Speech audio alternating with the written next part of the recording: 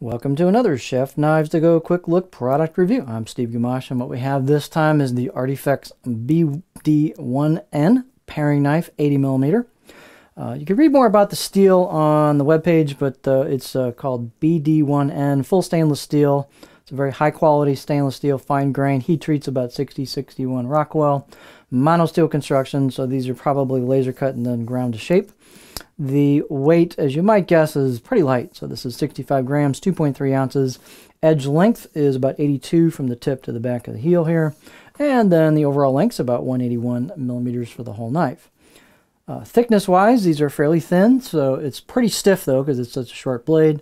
Uh, so a lot of stiffness. Uh, this is about 2.1 millimeters back at the back, and then about one and a half millimeters in the middle, and then it thins out. Not super skinny on the tip. This isn't like a super fine point tip. It'll do a nice job for you, generally speaking. And then again, it's not a very tall knife. It's a little hard to even show. I don't even know if I can show this here. Choil shot. Do the best we can there. So not super skinny, but that's not the point of this knife. Uh, blade height's about 20 millimeters, so again, not very tall. Handle is a a G10, so it's almost an indestructible handle. You got two stainless rivets. You get a full tang construction, very sturdy knife. Handle's really nicely done. It's big enough to get a good grip on it.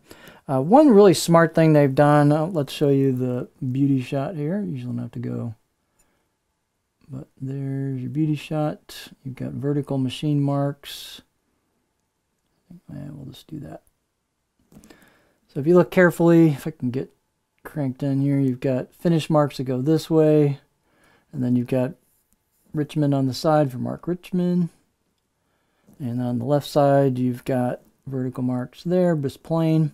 They've polished off and rounded off the spine a little bit. The choil, uh, they've done a nice job at the heel there. What they've done is they've rounded off that heel. So the edge is not way back to a point.